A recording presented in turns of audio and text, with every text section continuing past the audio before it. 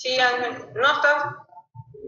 Bueno, chicos, eh, voy a comenzar, ¿sí? Buenos días con todos. Les agradezco a ustedes que estén presentes aquí. Agradezco su iniciativa de seguir aprendiendo más cosas que poco a poco vamos descubriendo y vamos a ustedes entregándole esto para que puedan desarrollar las clases de manera más efectiva y eficiente, ¿sí?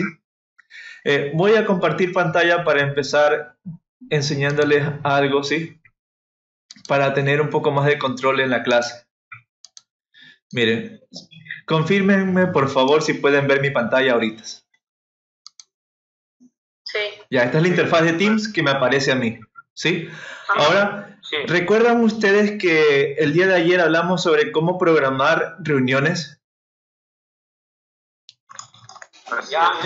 Miren, el tema para programar reuniones con antelación, en este caso programar clases, era en el calendario, ¿sí? Usando esta opción. O podríamos hacerlo dentro del equipo, ¿sí? En el botón Meet, eh, reunirse ahora, ¿sí? Nos aparecía la opción programar una reunión, ¿sí? Entonces, no creo que había duda con esto. Bueno, ahora lo que yo quiero resolver una duda es cómo yo doy ese rol de presentador o de asistente. Miren, esto me preguntaba Obi. Obi, una vez que tú creaste, cuando ya has creado la reunión, mira, justo aquí te aparece Meeting Options, opciones de la reunión. ¿Sí ven? Entonces, mira, cuando yo hago clic aquí, se me abre una página web. Te muestro la página web, es esta. ¿Sí? Y aquí, mira, tengo el rol, ¿quién puede presentar? He modificado esta opción y solo puedo presentar yo. ¿Sí? Guardo. Y ahorita es el único que puede presentar, compartir pantalla, soy yo. ¿Sí? Ahora bien, ¿existe otra manera de hacerlo? Es lo que les voy a mostrar ahorita, ¿ya? Pero, mister. Sí. Lo que, o sea, entendí, entendí esa parte de ayer. Lo que le, lo que le quise decir es, eh, o sea, yo como participante, recuerda que ayer usted no, o sea, había esa opción de que nosotros los participantes, bueno, en este caso estudiantes, te pudieran mutear, ¿verdad? Sí. Entonces lo que le estoy diciendo es que a mí no me salió esa opción, esa icono de, de mutearte desde mi pantalla. Pero ahorita, o... ayer y, y también ahora. Ya, bueno, ahora que que le preguntaste a, la, a la mesa? Mira, es porque tú ahorita en mi clase, tú tienes el rol de asistente. ¿Ya? Mira, por ejemplo, Obi, ahorita, si yo le cambio acá en la página web que te voy a mostrar, mira. Espera un ratito. Mira, si yo cambio en la página... Mira, esta es la, la opción de... La ventana de opciones de la reunión, ¿sí? Si yo cambio el rol, Fíjate, Obi, que tú ahorita puedes ponerme en silencio e incluso puedes compartir pantalla. O sea, la, sí tengo la opción de compartir pantalla. ¿ya? ahorita sí. pero la de... La de mutear, no. Pero tú quieres mutear a un estudiante. No, no, no, o sea, como usted dice, ¿no? Que, que para yo como estudiante mutear pero sale aquí abajo, mira, tú tienes que poner sobre mi foto, sobre mi, al lado de mi nombre existe un botón que dice más acciones, más opciones. Y ahí pones mutear participante, creo que es así en la ventana de usted. Ah, entonces, ah, entonces sí, ahí sí. Ya, pero no, no, me, no me pongas en silencio ahorita. Ahora, ya, déjame seguir con esto. Ya, miren. Entonces digamos que tú estás en plena clase, ¿ya? y tú necesitas que, por ejemplo, Obi te presente la pantalla de lo que está haciendo. Obi, necesito ver tu trabajo, por favor, comparte pantalla. ¿Sí? Como yo les decía, hay dos roles, rol de presentador y rol de asistente. En este caso, presentador será el profesor, asistente...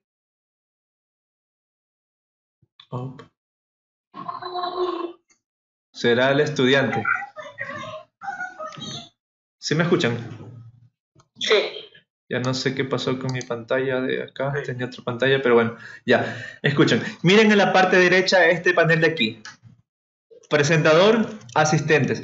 Por ejemplo, yo decía que quiero que Obi tenga el poder de presentarme la pantalla. ¿Cómo lo hago presentador para que él pueda presentar la pantalla? Miren, hago clic derecho sobre el nombre de él, ¿sí? Y de las cuatro opciones, la última me indica hacer presentador, convertirlo en presentador de la clase, ¿sí? Al yo activarle esta opción a Obi, miren, cambiar a quién puede presentar, hago clic en cambiar. Miren, y automáticamente Obi tiene el rol de presentador y ahora es capaz de presentarme la pantalla de de su trabajo, ¿sí? Si yo no quiero que Obi me presente la pantalla porque ya creo que vi el trabajo de él, se le, puedo quitar el rol de la misma manera, hago clic derecho y pongo convertir en asistente y listo, ¿sí? Eh, quiero probar algo, ¿sí?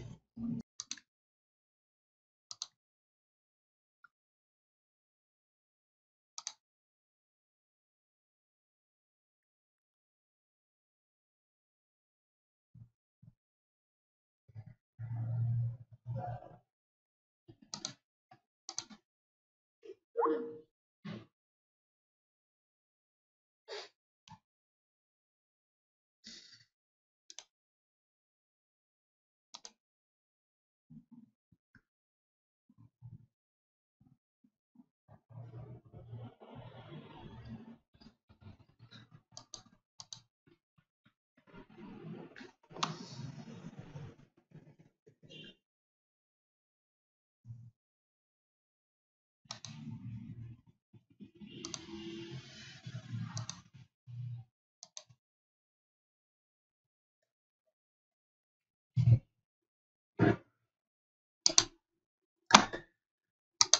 Listo chicos, disculpen, ya estoy de vuelta. A ver.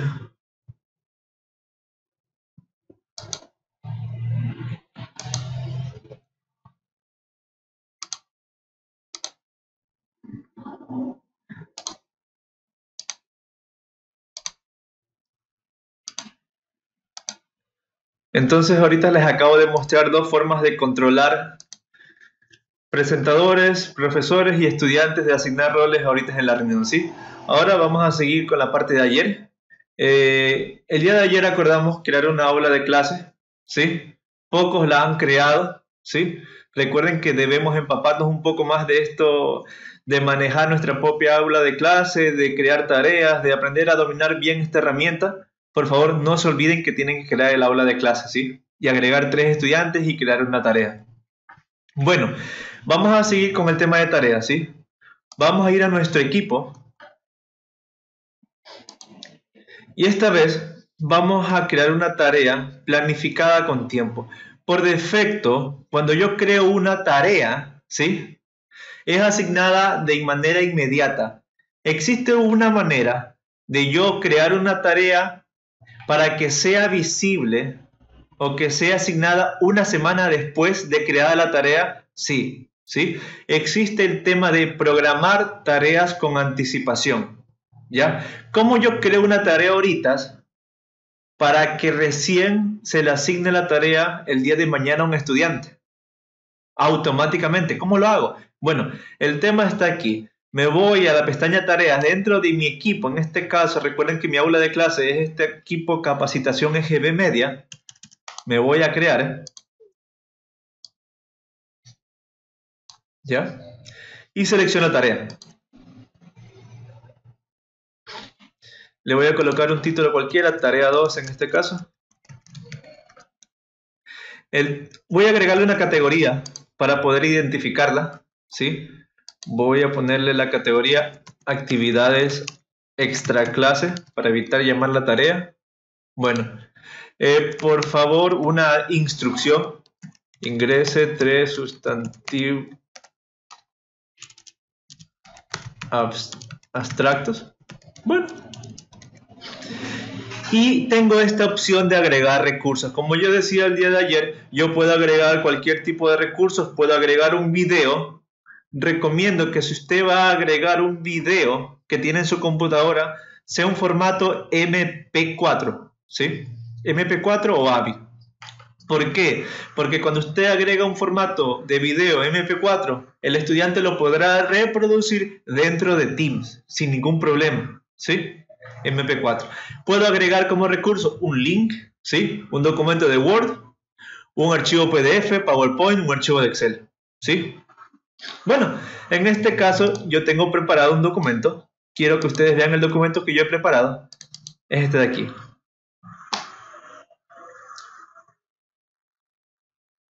Miren, tengo un documento, una plantilla, en pocas palabras, ¿sí? Esta plantilla tiene el logo, tiene un formato, una...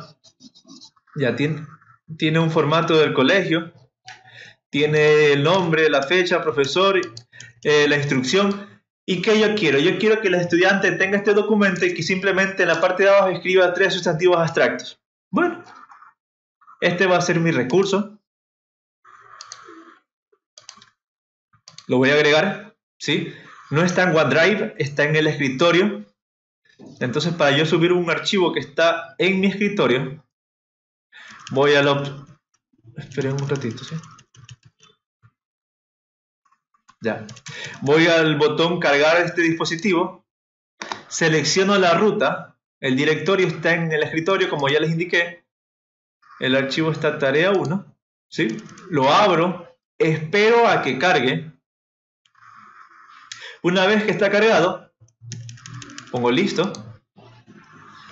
Ahora tengo dos opciones que quiero ustedes que se enfoquen, ¿sí? Quiero que alcancen a leer la descripción, ¿sí? La opción que tengo justo abajo del nombre de la tarea. Dice, los alumnos no pueden editar este documento. ¿Qué pasa cuando el alumno recibe esta tarea, ¿sí? Y abre este recurso el alumno simplemente va a poder leer las indicaciones, va a poder leer lo que usted le envía, pero no va a poder editarlo, ¿sí? ¿Puedo cambiarlo? Sí. ¿Puedo hacer que el estudiante use este recurso y que trabaje en este recurso? Por supuesto. ¿Cómo hago eso? Miren que en la parte derecha tengo estos tres botones para desplegar más opciones. Hago clic y me quiero enfocar en estas dos opciones. ¿Sí? Los alumnos editan su propia copia del archivo, del recurso que yo acabo de adjuntar, o los alumnos no pueden editar. Usar la opción de arriba cuando tú quieras crear un documento y quieras que todos tengan el mismo formato. ¿Sí? Y usa la opción de abajo cuando tú solamente quieras usar un recurso que solo va a servir a modo de lectura para el estudiante. Listo. ¿Se el tema aquí? Creo que quedó claro. Entonces, yo quiero que los alumnos, en este caso, por esta tarea, puedan editar su propia copia, la trabajen dentro de Teams, escriban, en este caso eran tres sustantivos, y me la envíen con ese formato. Cosa que cuando yo necesite, por ejemplo, algún formulario o un portafolio, yo voy a tener todas las tareas de mis estudiantes bien formateadas con el logo de la web print, eh, estandarizadas con nombre, eh, fecha, profesor y todas estas cosas. Bueno, eh, quiero agregar un recurso, otro recurso, perfecto, quiero agregar un video de YouTube. Pongo agregar recursos, ¿sí? Un vínculo y escribo, por ejemplo, aquí, déjenme buscar un video en YouTube.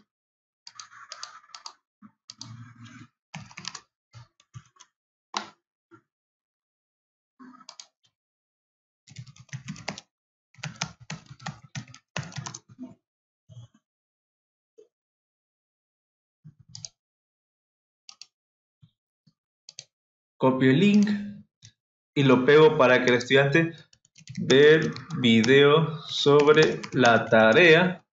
Adjunto este link, ¿ya? Supongamos que, chévere, eh, yo tengo una imagen, puedo subir una imagen. Recuerden que puedo usar el botón cargar cuando yo tengo el archivo dentro de mi computadora. Puedo subir un archivo que yo tengo en OneDrive. Voy a hacerlo ahorita, miren que estoy en OneDrive quiero subir, por ejemplo, esta imagen de aquí, que es un archivo de imagen, la selecciono, miren, adjuntar. Y recuerden, por favor, yo puedo adjuntar videos que yo he descargado en mi computadora. Recomiendo usar videos de formato MP4, ¿sí? Bueno, esto en cuanto a este tema. Perfecto.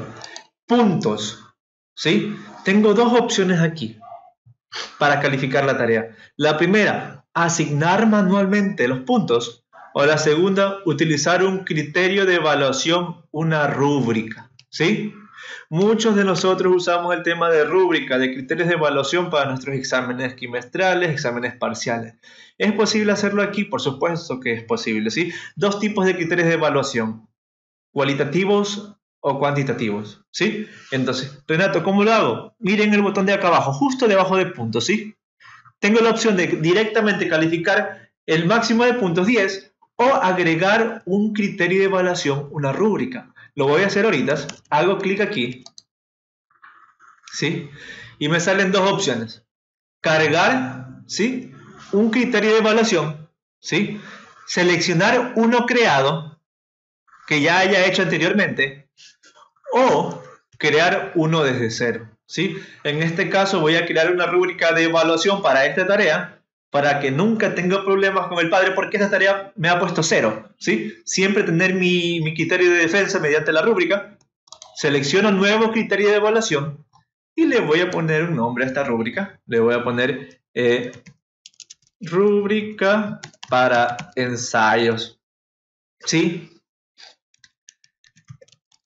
Esta rúbrica, disculpen las tildes, me las estoy comiendo ahorita, esta rúbrica servirá para la calificación de ensayos en la asignatura de lengua y literatura.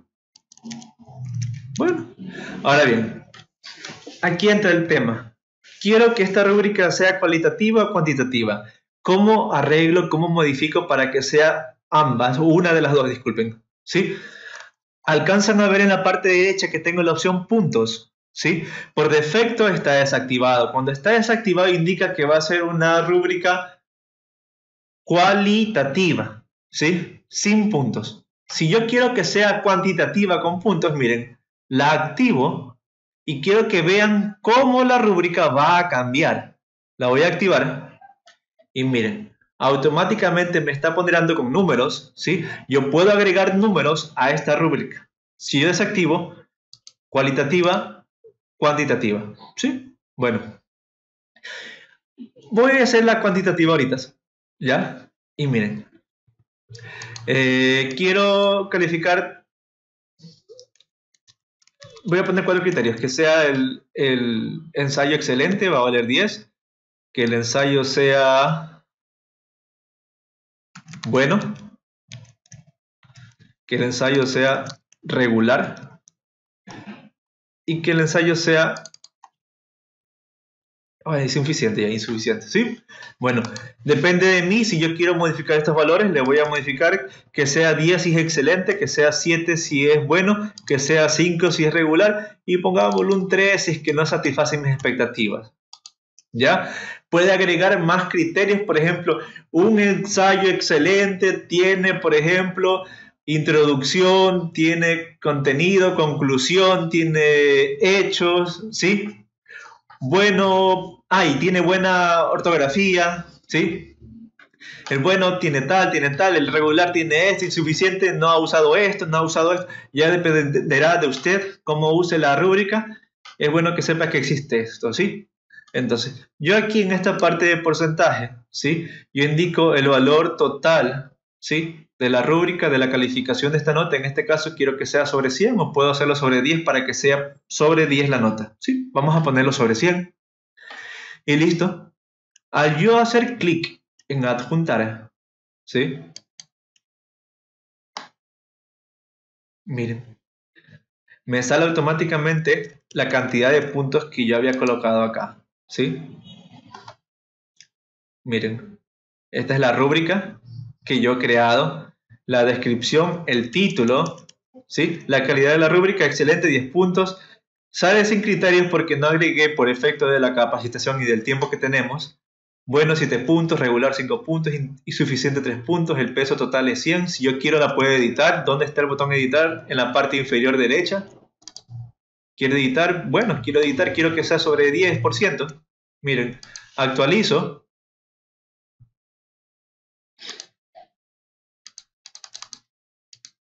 Bueno, no me deja actualizar al 10%. Dejémosle sobre 100, ¿sí? Sobre 100 puntos y luego toca bajarle a 10, ¿sí? El día de ayer vimos cómo asignar a un canal específico, cómo asignar a varios canales. Este tema ya lo vimos ayer. Ahora llega el tema de cómo puedo planificar con antelación. Digamos que usted tiene la clase de aquí la próxima semana, el día lunes. Llegamos el día lunes, pero yo soy un profesor que siempre tiene todo preparado para llegar a la clase con todo hecho. Y soy de la idea de que la tarea es asignada inmediatamente después de que yo termine mi clase. ¿Cómo lo puedo hacer? Imaginemos el siguiente contexto. Tengo clase el día lunes a las 8. ¿sí? De 8 a 8 y 40. ¿Ya? Estamos una semana antes, estamos hoy día que estamos miércoles. Yo quiero que justo a las 8 y 40, después de la clase, automáticamente, todos los alumnos reciban la tarea a esa hora. ¿Cómo lo hago? Perfecto. Por defecto, Teams solo me indica la fecha de vencimiento de caducidad de la tarea, ¿sí? Pero si yo quiero planificar la tarea, me voy al botón editar justo debajo de la fecha de vencimiento. ¿Sí? Déjenme ver una cosa.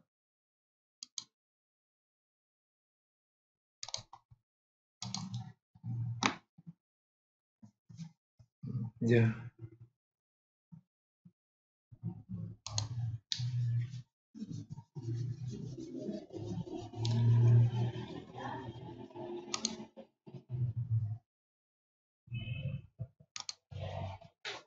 ¿Ya? Aquí, editar. Me voy al botón editar y entonces llega el tiempo. ¿Deseas programar tu tarea para una, para una fecha futura? Bueno, en realidad yo sí quiero. Quiero que esta tarea sea asignada automáticamente el día lunes 4 de mayo. Navego en este calendario que se despliega de hacer clic aquí y busco la fecha en la que yo quiero que se presente esta tarea. Bueno, era un ejemplo lo del 4 de mayo. Voy a hacer que esta tarea sea presente hoy día mismo, pero miren, a las 10 a las 10 y 45. ¿Sí? A esa hora a todos ustedes les va a llegar la tarea. ¿Ya? Bueno, perfecto. Quiero que venza la tarea. Sí, está bien, yo quiero que la tarea venza el día de mañana a las 12 Ahora, existe un cuadro de diálogo adicional llamado fecha de cierre. ¿Y para qué sirve la fecha de cierre? Bueno, dos temas. La fecha de vencimiento indica cuando la tarea, el, el último momento en que la tarea debía ser entregada. Ahora bien, el estudiante puede aún seguir enviando la tarea si es que ha pasado la fecha de vencimiento. ¿Sí? Ahora, si yo no quiero que el estudiante entregue tareas atrasadas, yo debo activar la opción fecha de cierre. Cuando yo activo la opción fecha de cierre, fíjense aquí, no se permiten las entregas atrasadas, ¿sí? Por defecto podemos poner la misma fecha de cierre como fecha de vencimiento, miren que son iguales, para decir vence el 30 de abril a las 12 a esa hora se cierra el sistema, no puede subirme tareas. ¿Sí? Es para esta función. Entonces, hemos configurado dos opciones. Programar en el futuro, el vencimiento y una fecha de cierre para evitar que el alumno entregue, no, no entregue tareas atrasadas. Pero si yo deseo que el alumno entregue tareas atrasadas, desactivan la opción, ¿sí? Acordaránse de esto. Bueno, yo quiero que nadie me entregue atrasada, soy un profesor bien estricto, bueno, pongo listo está ahí. ¿Sí? Y miren que ya no me sale el botón asignar, sino cambia el nombre del botón. Quiero que se fijen en el nombre del botón ahorita. ¿Sí? Programar. ¿Sí? Entonces pongo programar. Y miren, me voy al, al grupo de tareas asignadas. Y miren, tengo una tarea programada. Cuando usted asigna la tarea, ¿sí? En ese rato, el estado es asignado. Como la tarea la planifiqué para hoy día a las 10 y 45, fíjense el estado. Cuando llegue a las 10 y 45, este estado va a cambiar. ¿Sí? Ahora, ustedes ahorita no me han visto hacer nada más que esto. Quiero que fijen, el día de ayer, o hace un rato, no recuerdo bien, yo planifiqué una tarea para que se les presente a ustedes en este momento. ¿Sí? Voy a actualizar esto. Y miren, quiero que vean una cosa. ¿Recuerdan este de aquí que salía programado? acabó de cambiar su estado. ¿Por qué? Yo creé esta tarea programada para que a las diez y media se les presente a todos ustedes. ¿Me vieron hacer la tarea ahorita? No. ¿Por qué? Porque yo la, la planifiqué con tiempo para que se les presente a todos ustedes ahorita. ¿Sí? Entonces, así es como funcionan las tareas programadas. ¿Sí? ¿Qué pasa? Yo asigno la hora y justo exactamente esa hora se le presentará a todos los estudiantes. Voy a general y miren. ¿Sí ven? ¿A qué hora se presentó esta tarea que yo hice ayer? Diez y media. ¿Sí? Perfecto. ¿Eso qué significa? Significa que la tarea que yo acabo de crear, miren, exactamente la tarea, tarea 2, que yo las puse a las 10 y 45, a las 10 y 45 les llegará la notificación, ¿sí? Y también será, aparecerá en el canal general, ¿sí? Pregunta sobre este tema de planificar tareas.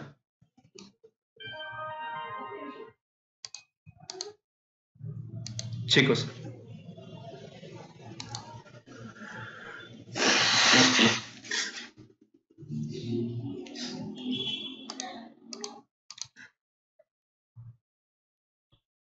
Bueno, creo que queda claro el tema de planificar tareas, ¿sí? Créanme que es una herramienta bastante útil, sobre todo cuando estamos trabajando en estas clases. Ya, eh, recuerdan ustedes que esta tarea puedo editarla. ¿Cómo la edito? Miren, hago clic en la tarea que yo acabé de crear con ustedes. Miren, y puedo modificarla. Por ejemplo, quiero cambiar el archivo, lo puedo remover. ¿Sí? Ahora bien, recuerden que yo había configurado, hago énfasis aquí, para que el alumno tenga la propia una copia de la tarea y que pueda modificarla. ¿Recuerdan con qué objetivo hice esto? Con el objetivo de que cada estudiante reciba una copia individual de esta tarea y que esta tarea pueda ser trabajada por el estudiante y que me sea regresada. ¿Sí? ¿Por qué? Porque yo quiero que todos los estudiantes tengan el mismo formato, quiero que todos los estudiantes tengan el mismo, eh, eh, la misma estructura, ¿sí? Tarea, nombre, fecha, profesor y, la descripción. Quiero que todos los estudiantes tengan la misma estructura y por eso es que yo he seleccionado la opción de los alumnos editen su propia copia. Si yo no quiero que el alumno edite su propia copia, si yo quiero que el alumno cree su propio documento de Word, simplemente dejo este documento como solo lectura, ¿sí? A modo de guía. ¿Sí? Ya vimos eso. Entonces, eh, ahora voy a pasar a otro tema. Miren, el tema de formularios, ¿sí? ¿Cómo yo creo un formulario? ¿Han escuchado ustedes Google Forms? Google Forms tiene dos tipos de funciones principales. La primera es la de recopilar información a modo de encuestas, a modo de encuestas de satisfacción, como lo hace, por ejemplo, el Departamento de Calidad, pero ¿es posible crear evaluaciones usando Forms, Google Forms? Por supuesto, yo creo puedo crearme un propio cuestionario de preguntas, ¿sí? Y poder calificar eso a modo de tarea. ¿Es posible hacer eso en Microsoft? Por supuesto, en Microsoft existe la opción Microsoft Forms. ¿Sí? En Microsoft Forms. Y tengo las mismas funcionalidades e incluso más. ¿Sí? Y para los profesores que enseñan matemáticas, hay muchas más opciones aún para Google, para Microsoft Forms. Entonces, vamos a empezar con el tema de crear un formulario que sea calificable, ¿sí? Como les indiqué, hay dos tipos de formularios. Formularios que son calificables, que yo recomiendo el uso a modo de actividades, de lecciones, ¿sí? Y hay formularios que son para recopilar información que no me interesan ahorita, ¿sí? Entonces, formularios calificables, ¿sí? Cuestionarios. ¿Cómo yo creo un cuestionario para mis estudiantes? ¿Sí?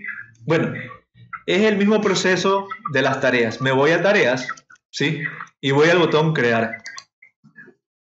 Tengo dos opciones. La que ya hemos visto tarea, pero también tengo la opción cuestionario, ¿sí? Me voy a la opción cuestionario. Y aquí me despliega una lista de los formularios que yo he creado, ¿sí? En este caso, yo puedo crear uno nuevo desde cero o puedo seleccionar uno que yo ya he hecho, ¿sí? Por defecto, yo a ustedes les he asignado esta tarea para las 10 y media, que es un formulario, ¿sí? Nadie lo ha visto, pero bueno, vamos a hacer uno desde cero, ¿sí? Nuevo cuestionario. Para crear uno desde cero me voy al nuevo formulario y se me abre Forms for Office. Miren, esta es mi ventana personal. Como ustedes saben, todos ustedes tienen acceso gratuito a esta plataforma de Forms. Simplemente utilizan su cuenta institucional. ¿sí? Bueno, por favor, recuerden esto. Dos tipos de formularios. Dos tipos, ¿sí?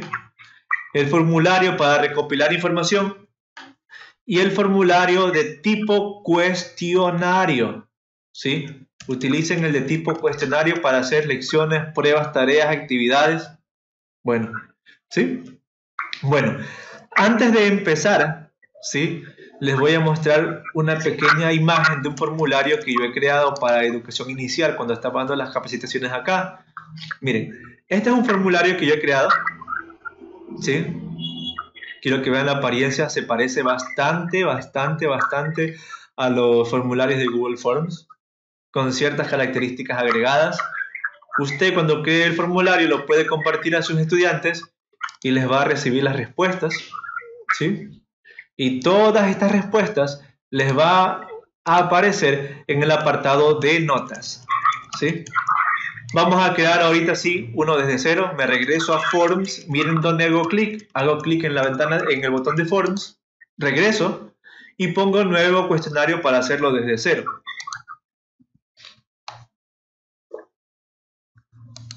Espera un ratito. A ver, a ver.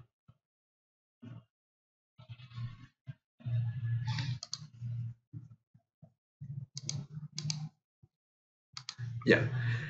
Empiezo. ¿Qué necesito? Necesito un título. Vamos a colocar un título. Actividad de refuerzo. ¿sí? Una descripción para que los estudiantes sepan de qué trata esto. El presente cuestionario evaluará las habilidades adquiridas. Listo. Bueno, ¿puedo modificarlo? Sí.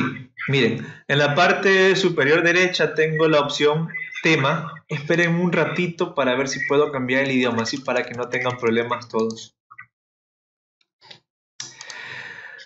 a ver. Esto, esto, esto, esto. A ver.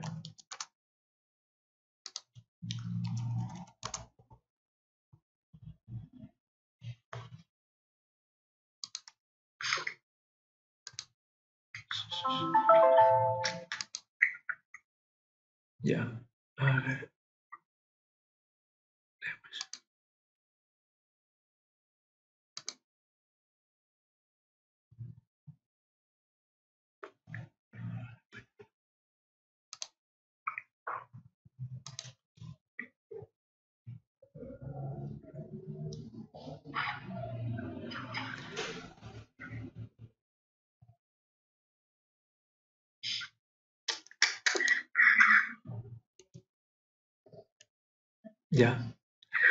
Ya le cambió el idioma. Déjenme actualizar esto acá. Y listo. Listo, listo, listo. No, sale en inglés. Déjenme regresarse.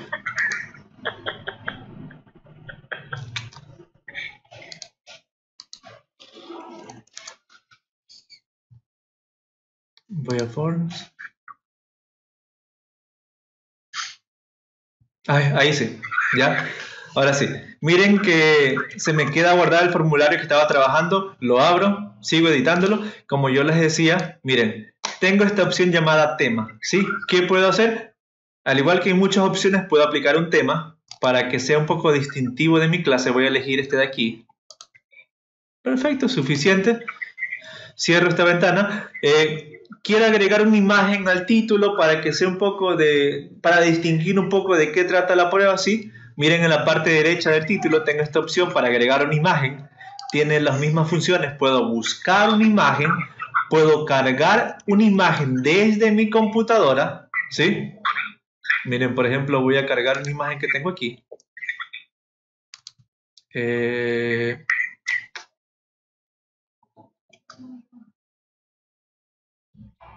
Acá tengo una.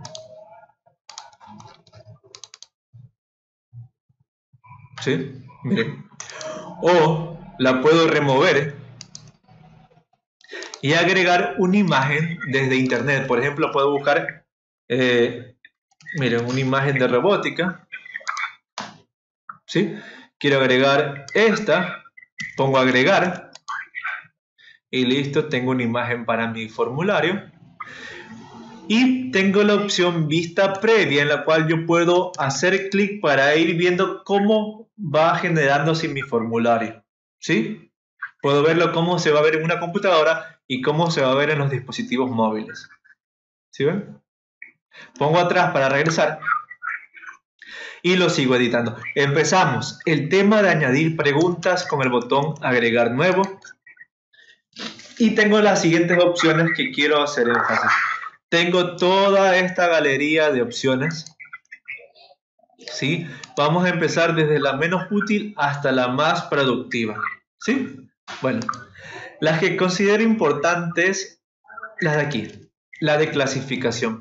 ¿Qué tipo de pregunta es esta pregunta de clasificación? Me permite ordenar ciertas respuestas. Por ejemplo, eh, indícame, ordena los pasos necesarios, ¿sí? Para poder eh, abrir Microsoft Word desde el botón inicio.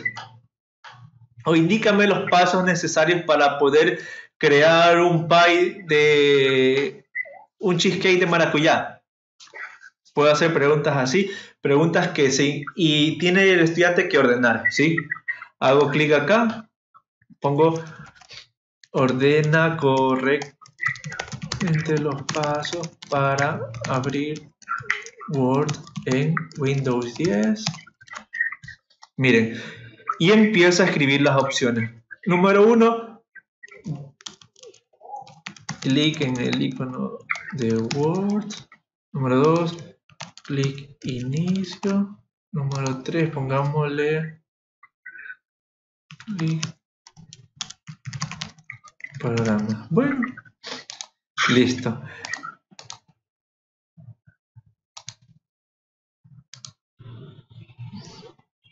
Vamos a colocarle puntos a esto. Quiero que tenga esta pregunta 5 puntos. Y miren, justo en la pregunta, en la parte inferior, ah, ya miren, me aparece esta opción de una pregunta obligatoria. Si yo no pongo esto activado, el estudiante podrá saltarse esta pregunta, cosa que nosotros no queremos que haga. ¿sí? Nosotros queremos que el estudiante siempre responda a todas las preguntas. ¿sí? Y necesitamos que la responda de manera obligatoria. ¿sí? Quiero agregar un subtítulo. Bueno, puede agregarle un subtítulo. Puedo decir, para, a modo de indicación, por favor, estudiante, ordena los pasos correctamente. ¿sí? No se olviden que esto tiene que estar bien ordenado. Ahí sí. Ahora miren, una vez que tengo los pasos ordenados, quiero ver cómo me queda la pregunta y cómo la va a ver el estudiante. ¿Sí? Me voy a vista previa otra vez. Y miren,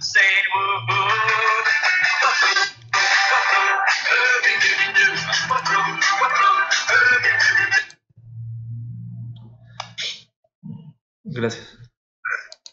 Miren, ¿y qué es lo que tiene que hacer el estudiante? Simplemente tiene que ordenar las preguntas van a ser aleatorias y tiene que ordenar los pasos correctamente, ¿sí? Me regreso y voy a agregar otro tipo de pregunta. En este caso voy a agregar este tipo de pregunta calificación. Este tipo de pregunta calificación sirve para, por ejemplo, evaluar, evaluar algún tipo de servicio, evaluar, por ejemplo, la clase, evaluar qué le pareció el tema, qué le pareció la práctica. Vamos a hacerlo, miren. Agrego un tipo de pregunta calificación. Vamos a, a poner, por ejemplo, califique ¿Qué tal le pareció la capacitación? ¿Sí? Puedo agregar aquí de 1 al 10. Puedo cambiar para que sea del 1 al 10. Miren, en los niveles modifico esta opción. Pongo que sea del 1 al 10. El símbolo lo puedo cambiar. ¿Sí? Y quiero que esta pregunta valga 5 puntos también. Quiero que sea obligatoria. ¿Sí?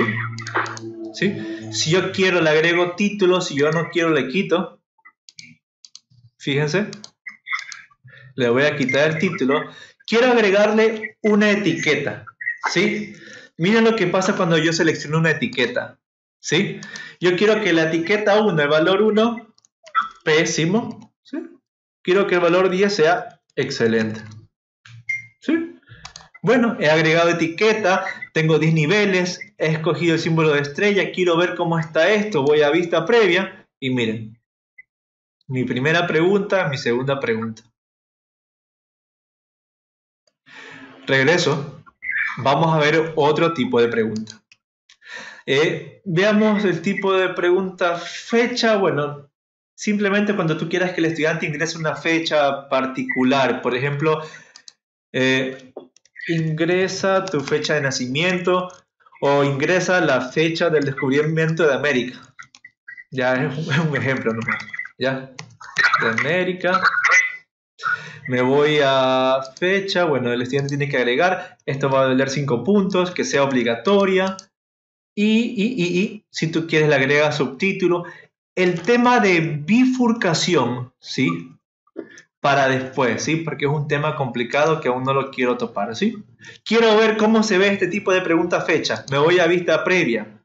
Miren, el estudiante tiene que escoger la fecha. Por ejemplo, no recuerdo cuándo fue que descubrieron América, era un ejemplo, la, ah, pongámosle que, bueno, ya pongámosle que fue el 1 de mayo. ya, miren, ¿sí? Otra pregunta, texto, ¿sí?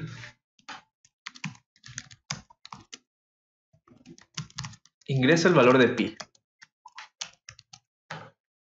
Bueno, el estudiante aquí va a escribir su respuesta, pero yo tengo que manualmente agregar la respuesta. Miren, quiero que la respuesta sea 3.14, ¿sí? Quiero darle al estudiante otra opción. Bueno, quiero que sea 3.1416. Por si acaso puede escribir eso, ¿ya? Entonces, ¿qué va a pasar cuando yo agrego respuestas? lo que voy a hacer es evaluar lo que el estudiante acaba de escribir aquí. ¿Sí? Entonces el estudiante puede escribir esto o esto. ¿Sí? Si escribe esto, correcto. Si escribe esto, correcto. ¿Qué pasa? Adquiere 5 puntos o puede adquirir 10 puntos, depende de usted. ¿Sí? Bueno. ¿Puedo hacer restricciones? Sí, miren, siempre tengo un estudiante chistoso que me escribe no sé. Para eso está el tema de restricciones. Me voy a restricciones y quiero que el estudiante simplemente en este caja de texto escriba número. ¿Sí? ¿Sí? O puedo decirle, verás, el número debe estar entre 3 y 3.5. ¿Ya? Miren, 3 entre 3.5 entonces el estudiante va a recibir esto. Quiero que vean cómo va a quedar. Miren, si ven, tengo una restricción. Ingresa el valor de pi. El número está entre 3 y 3.5. Chuzo, yo me acuerdo, el profesor me dijo, ah, ya es 3.14. Hago clic y escribo. ¿Sí? Si tú quieres, le agregas la restricción. ¿Sí? Le puedes quitar, pero sí te recomiendo que le pongas una restricción y que en este caso, en preguntas numéricas, agregues que sea número para que evites que un chistoso escriba letras o texto. Bueno, para inglés igual. Por ejemplo, escribe escribe una oración disculparán las tildes solo el verbo el verbo to be en presente elimino las respuestas ¿sí? en este caso va a ser texto ¿sí? ya no necesito esta restricción numérica ¿sí? y como va a ser una respuesta ¿sí? Que no me puede evaluar porque no llega hasta ese punto de la inteligencia artificial de evaluar una pregunta de texto, esta pregunta la vamos a dejar ahí. El estudiante cuando envíe, yo voy a tener la opción de revisar personalmente su respuesta, ¿sí? Y obviamente calificar manualmente esto. Entonces, esto implica que hay dos tipos de calificaciones, dos tipos de preguntas. Preguntas que Forums calificará automáticamente y preguntas como esta de aquí, donde involucra texto y Forums no es capaz de calificar y lo tiene que hacer usted. ¿Sí? Entonces ya lo vamos a ver. Dejamos esa pregunta ahí. ¿Sí?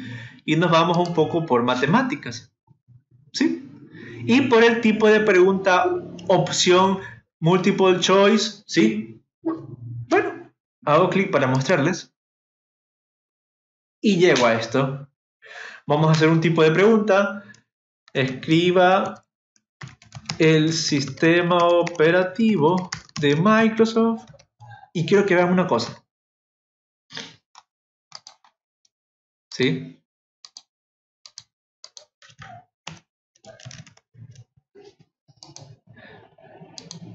Eh, eh, eh, Esperemos un ratito.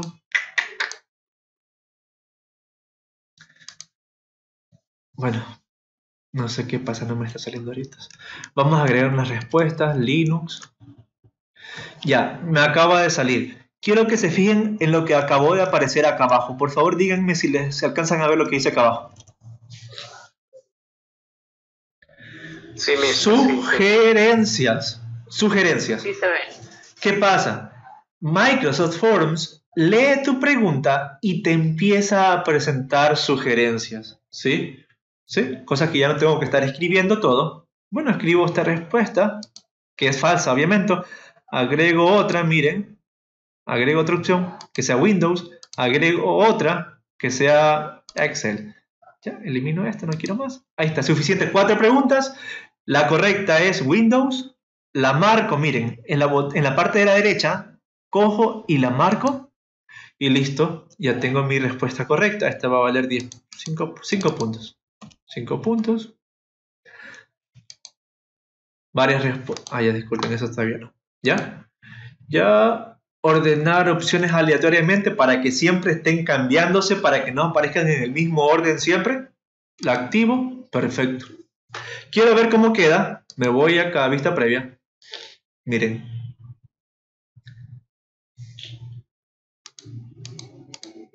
¿Sí?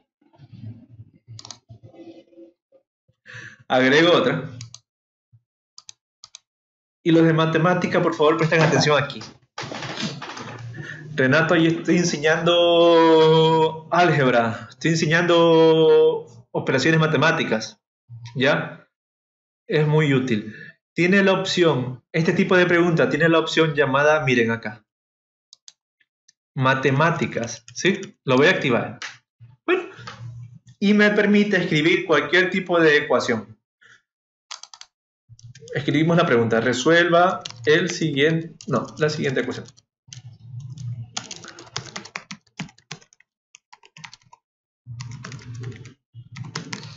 Perfecto, escribo 1,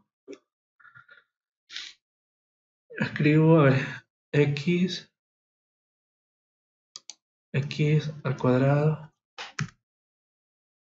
más, más 10 más 25. Ya, miren, por ejemplo, escribo esta, pongo OK y quiero que vean lo que va a pasar. ¿Sí vieron lo que acabo de pasar? Resultados sugeridos. Me bota cuatro opciones de respuesta. Entre ellos, una de estas es la correcta. ¿Tuve que escribir? No, me evita escribir porque eh, Microsoft Forms está automáticamente sugiriéndote respuestas. En este caso, para matemáticas, miren, pongo agregar todos y listo. No tuve que agregar respuestas por mi propia cuenta ni inventarme. Me bota respuestas falsas y una respuesta correcta. ¿Sí? Quiero ver cómo es esto. Quiero que esta pregunta valga 15 puntos. Me voy a vista previa y miren. ¿Sí? Vuelvo. Y quiero agregar otro tipo de pregunta. ¿Sí? Opción. A ver. Seleccione tres, dos tipos de programas gratuitos. Bueno, vamos a seleccionar dos tipos de programas gratuitos. A ver. Ah, ya, miren que por defecto queda activado matemáticas porque así fue la pregunta anterior. Tengo que desactivarlo. Voy a desactivar el subtítulo. ¿Ya? Dos tipos de programas gratuitos. A ver, pongámosle Photoshop. Ya. Eh, pongámosle aquí Office Calc. Ya. Pongámosle otro, pongámosle aquí. Straight. Pongámosle otro. Paint. Bueno. Hay dos tipos de programas gratuitos ahí. ¿Sí? Pero este tipo de pregunta me permite seleccionar solo una respuesta. Miren, ¿cómo yo modifico para seleccionar dos respuestas? Miren, el truco está aquí. Hay que activar esta opción. Varias respuestas y miren cómo cambia, ¿sí? De preguntas de una sola opción a múltiple opción, ¿sí? Y en este caso, como yo sé que esta es la verdadera, la marco como correcta marco como correcta, he indicado que tengo dos respuestas correctas, voy a vista previa y miren. ¿Sí? Puedo hacerlo más didáctico, por supuesto. Puedo agregar a cada pregunta una imagen, ¿sí? Para hacerlo más bonito, más atractivo al estudiante. Miren, justo al lado de cada pregunta les aparece este icono, ¿sí ven? Miren, voy a la pregunta 1, clic. Miren, puede agregar una imagen relacionada a la pregunta. Miren, imagen, busco por ejemplo imágenes sobre Windows 10, no, sobre Word.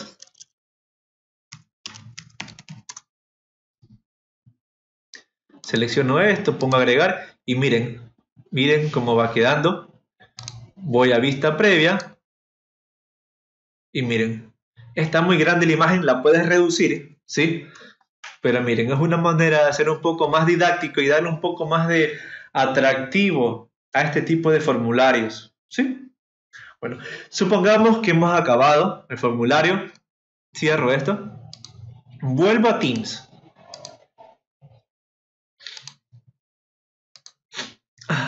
Vuelvo a Teams. Me quiere dar gripe. Ya, ahora sí. El formulario ya está creado. Quiero asignarlo a los estudiantes. Ahora sí, vuelvo, crear. Cuestionario. Y como ya está creado, miren, les va a aparecer aquí. ¿sí? Esta de aquí es la actividad que yo creé ahorita con ustedes. La selecciono, ¿sí? Y pongo siguiente. Ya no nuevo formulario porque ya está creado. Miren,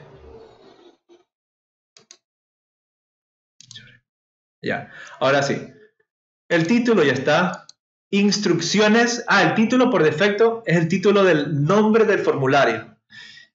Por favor, quiero agregar una instrucción.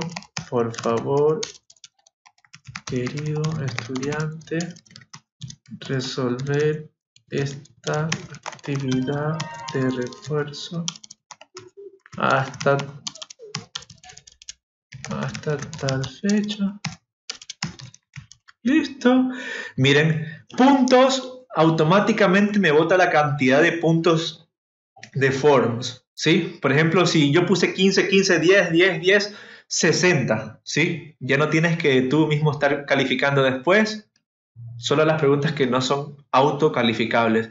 Puedo planificarla para que se presente en una fecha futura automáticamente, como yo lo he hecho.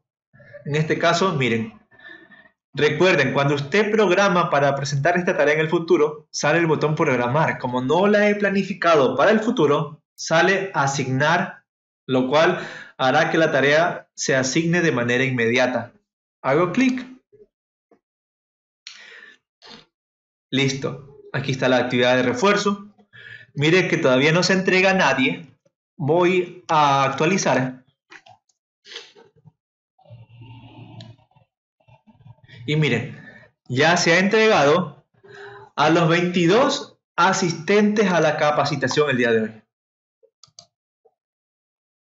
Aunque hay 11. No sé por qué no hay 22. Ya estoy viendo aquí la lista. Bueno, entonces eso ha sido el proceso. Ahora, para terminar, yo quiero un voluntario, ¿sí? Para que lo haga el formulario este de aquí, a esta tarea de aquí, o el formulario de actividad refuerzo que acabo de crear con ustedes, porque quiero que ustedes vean la parte de cómo el profesor califica un voluntario que, que envíe el formulario resuelto, ¿sí? Y terminamos, ¿sí? El que tenga la mano Teams puede hacer el formulario rapidito, ponga cualquier respuesta, yo califico aquí para que ustedes vean cómo es el proceso de calificar y terminamos por el día de hoy, ¿sí?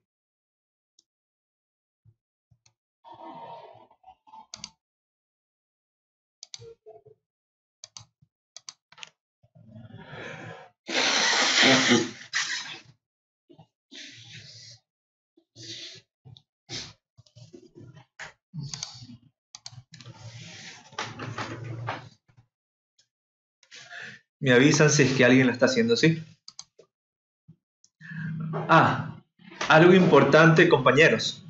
Miren, voy a la actividad de refuerzo que creo y quiero que vean este tema de aquí. Estado. ¿Qué es el estado cuando tú ves, tú haces una tarea? Miren, hay dos tipos de estados. El estudiante que ha visto la tarea y los estudiantes que ni siquiera la han abierto, ¿sí?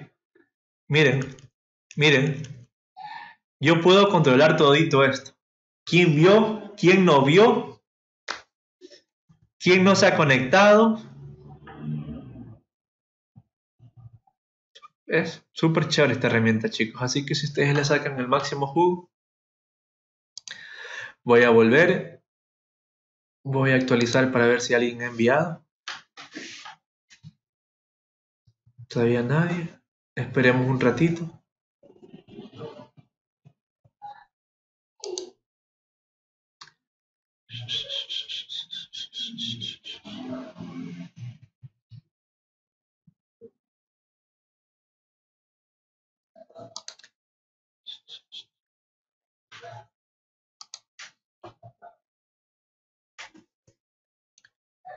Ya, chévere, miren. Quiero que se fijen en la parte de aquí.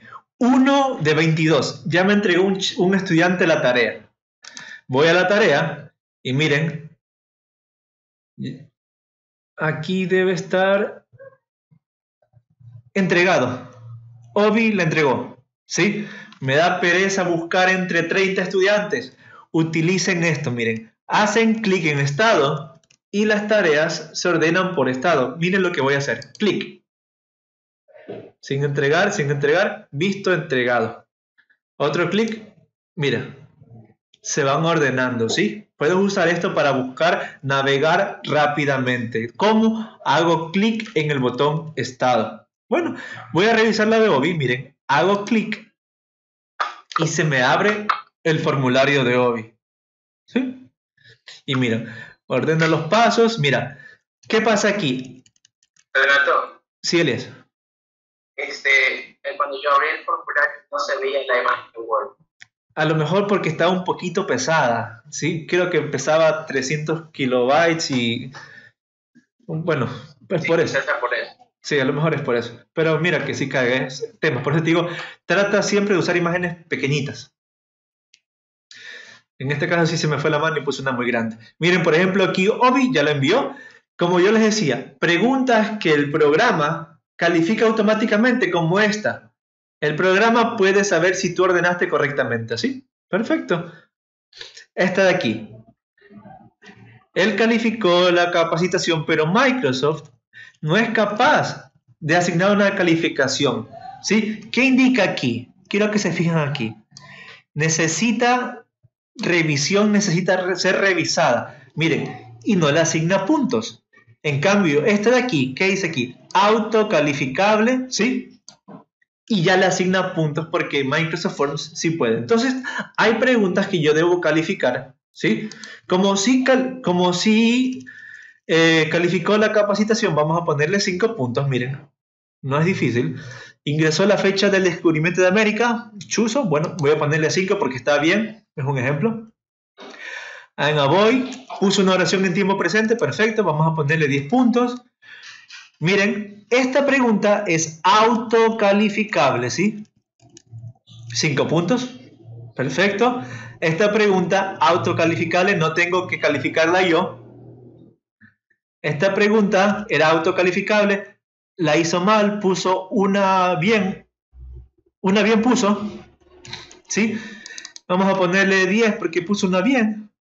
A pesar de que es autocalificable, pone 0 si tú pones una mal, pero quiero ponerle 10 porque aunque sea una puso correcto, ¿sí? Y listo. Si yo quiero ver el cuestionario de otro estudiante, puedo hacer clic en revisar siguiente, pero ya depende de usted.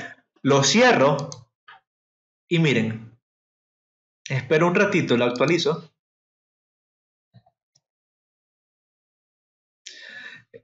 Abro aquí, ya veo que me han entregado cuatro estudiantes. ¿sí? Miren, miren, Obi entregado, Elías entregado, Patricia entregado, Jess entregado. Bueno, me voy a general, me voy a volver. Miren, y me voy a notas. Miren, regreso al canal general y, y me voy a notas y quiero que vean qué ha pasado aquí. Tengo las tareas que yo he creado con ustedes y miren, esta es la actividad del refuerzo del formulario que yo creé. Esta es la tarea con rúbrica. Si ven, por ejemplo, aquí Oswaldo Ordóñez ha visto la tarea con rúbrica. Acá a Obi, ¿dónde está? A yo le califiqué, ¿sí? Y ya está. A Elías, aún no le califico las respuestas que no son calificables. Si yo quiero, puedo hacer clic aquí, miren, ¿sí? Abrir trabajo del alumno. Y le puedo calificar a Obi, a Elías. Aunque Elías no te sale la imagen. en serio, no sé por qué a ti no te sale. bueno, mira, por ejemplo, aquí le califico esta de aquí que necesita revisión, le pongo 5. Acá pongámosle 5, acá pongámosle 10. Miren. Ya, cierro esto y verán cómo la tarea de Elías ha sido actualizada. Ya, déjenme actualizar.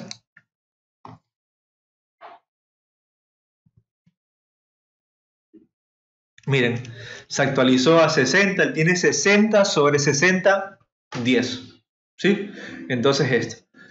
Entonces, por favor, compañeros, ¿sí? Quiero saber preguntas hasta ahorita. Sí, hoy. Entonces, este, le, quise comentar acerca del el trabajo ayer. Eh, eh, pude creer esa esa clase, pero eh, no sé ¿qué, qué, es, qué es una manera más fácil para que llegue a los estudiantes, aunque no lo haya programado, para que le llegue más tarde, pero hasta, hasta hoy hay algunos que, que, me dicen que se le entrega, no sé, no sé cómo funciona.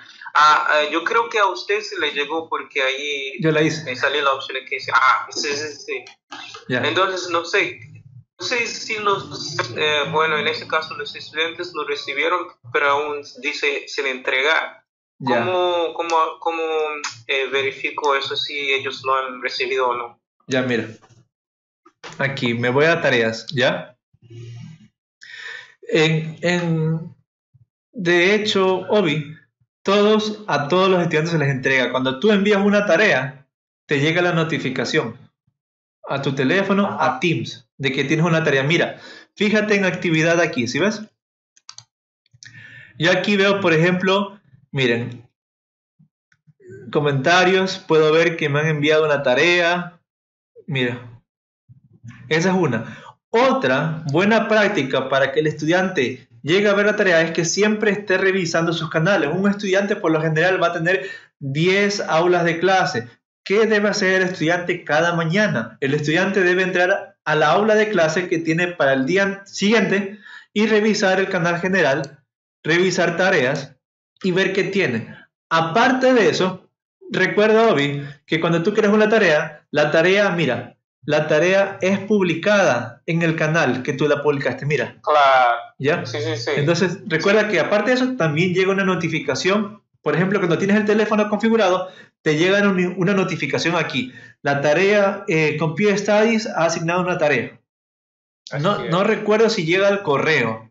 Déjame revisar mi correo, ¿ya? Espérate un ratito. A ver. A ver. Inbox. A ver. Por aquí creo que eliminé como tantas tareas que me han enviado. A ver, Campo Leo, Priscila. A ver.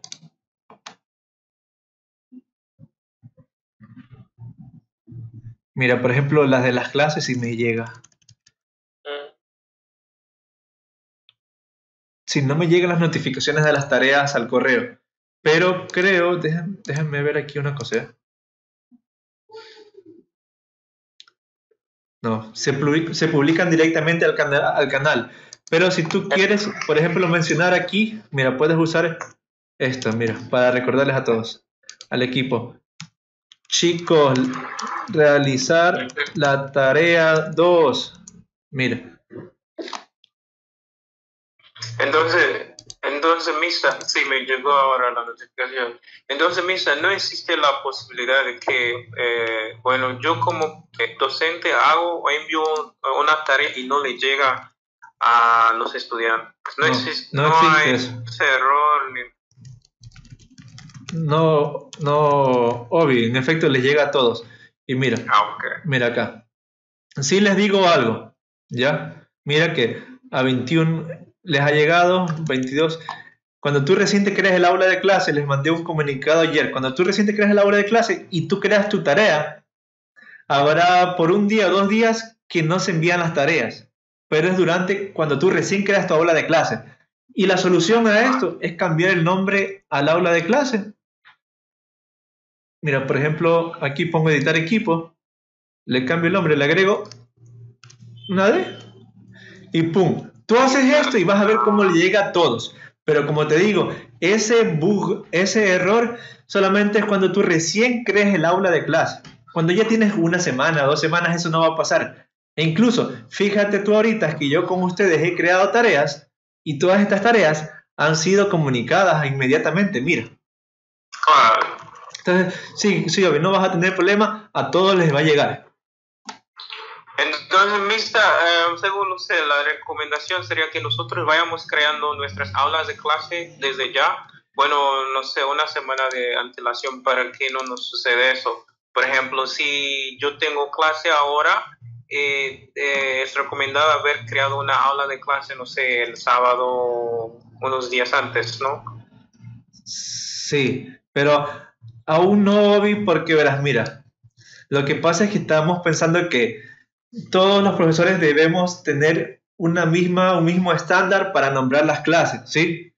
El que nosotros como área de computación llegamos a un acuerdo es que este es el más adecuado. Por ejemplo, séptimo A, EGB Media, Matemáticas, Patricia Fernández es un ejemplo. Aquí tienen otro ustedes. Por ejemplo, primero A, Bachillerato Internacional, es, es Science, creo, y pongámosle ahí Jaime Valle. Son ejemplos, ¿ya? Entonces, esperemos un ratito a que digan que esta es la forma correcta para nombrar un aula de clases y entonces ahí sí ya creamos aula de clases porque luego, te soy sincero, vamos a tener un montón de aulas de clase que son de tantas prácticas que hemos hecho y nos vamos a hacer bola. Entonces, esperemos un ratito que nos digan, esperemos también que las cuentas de estudiantes estén creadas, sí, porque aún no están creadas solo faltan crearlas nomás en realidad.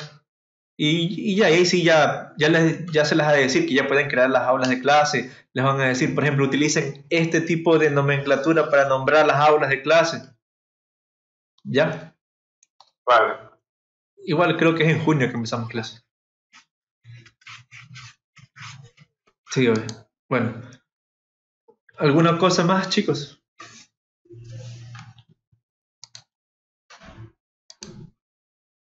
¿No hay más preguntas?